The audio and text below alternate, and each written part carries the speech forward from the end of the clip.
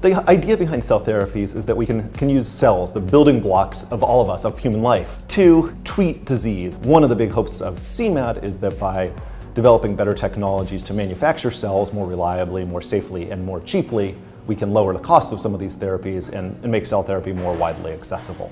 The workforce development is really a key part of that, and that's part of what the, the research experience for undergraduates is. Funded by the National Science Foundation, Georgia Tech is the lead institution. The goal is really to enable cell therapies as a, a medical technology. I feel like coming to Georgia Tech has definitely allowed me to grow um, in ways that I wouldn't have been able to back at my home institution.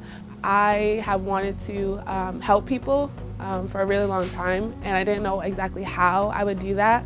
Um, and everybody's first thought is like, oh, I'm gonna be a doctor and I'm going to actually like physically help people but I definitely noticed that I like to be in the background. I feel like CMAT allows me to develop these cures and treatments. Just being able to do graduate level research, I'm already starting my second year. It's truly been a dream come true. I've always wanted to just be in lab all day, but being in school, I can never really do that.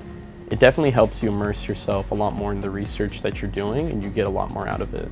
Getting to work with diseases that are impacting the world and research that is becoming very important is what I want to do with my life. So being able to see that from an early stage is very eye-opening.